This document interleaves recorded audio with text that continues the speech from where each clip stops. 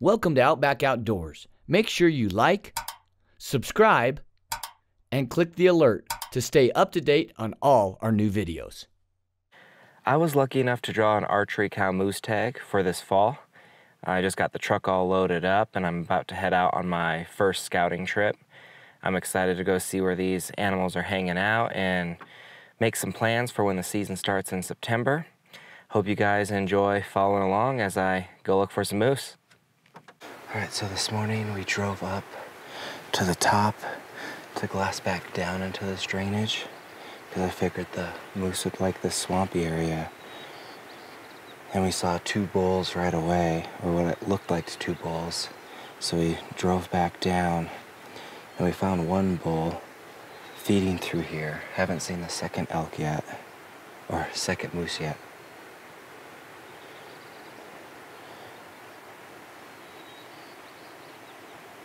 Funny. You drive around looking for deer or elk, all you see are does and cows. Now that I have a cow tag, all we see is a bull moose.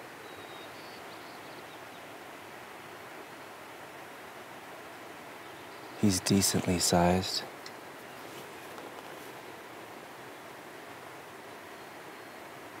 He's feeding behind some trees right now.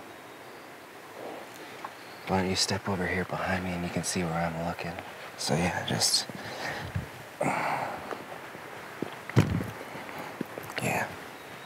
So he's just like behind these trees over here. Well, you can see him stepping out a little bit. I'll get the long lens on here in a second. Well, he just ran off. Took a little bit of video, and then when I was trying to reposition to take a photo, he saw me and just ran back across and up into the trees. Haven't seen the second one yet. We're gonna hop back in the truck and go back down the road. Because when we first glassed them up, they looked lower down. I mean, maybe this was a third moose that we never saw from up high. But before the sun gets over the ridge and hits this valley, we'll get down there and look and see if we can see anything else. But I'm glad that we saw animals on the first scouting trip. Just need the ones without headgear.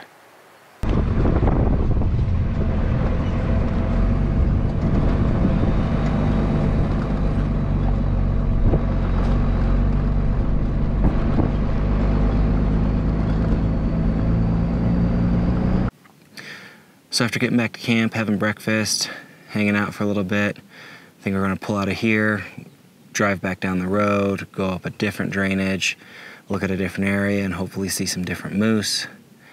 Um, I think it's just kind of making points on the map where moose tend to hang out, and then once fall comes around and the, the season starts, it's just checking those areas where we previously saw moose and waiting for a cow to appear at one of them.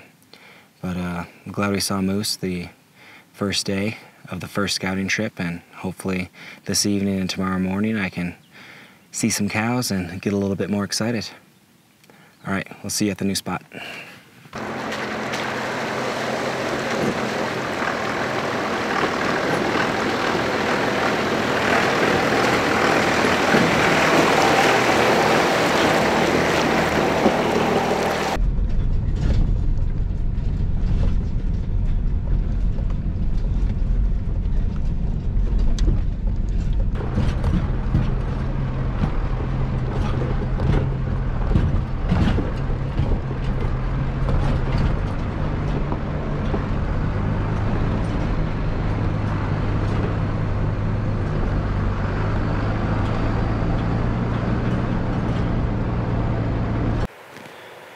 Does the back one have antlers?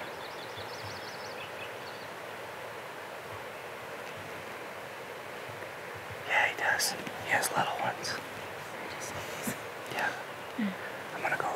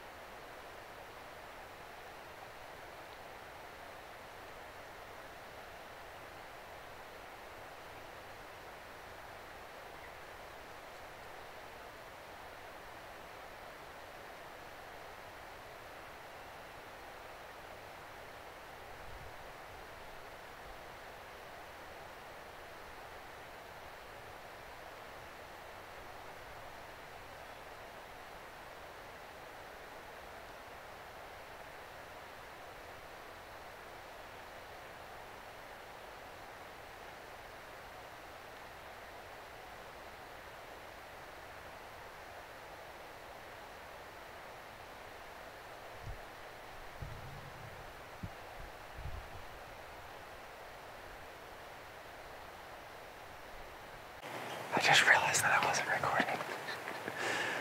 So we're driving up this new drainage that we relocated to.